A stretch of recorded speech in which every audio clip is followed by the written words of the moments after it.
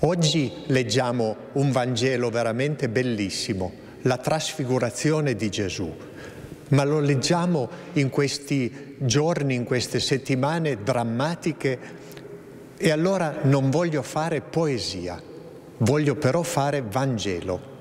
E allora, insieme con le frasi bellissime, la veste che divenne candida e sfolgorante, gli uomini che parlavano con Gesù e Pietro e gli altri discepoli che dicono è bello per noi stare qui, facciamo tre tende, c'è anche un altro aspetto che è quello che si lega addirittura alla passione di Gesù.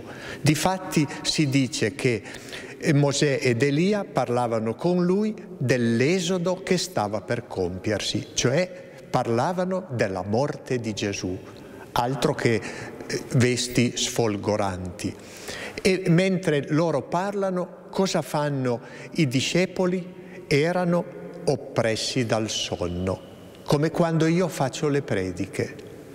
Per fortuna poi si svegliarono e videro la gloria di Gesù.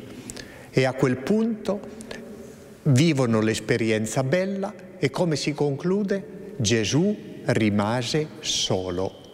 Come vedete, anche in questa pagina c'è tutta la bellezza del Tabor, la luminosità, ma c'è tutta la sofferenza della passione. Conclusione, è esattamente quello che vale per la vita di ciascuno di noi. Coniughiamo sempre passione e tabor.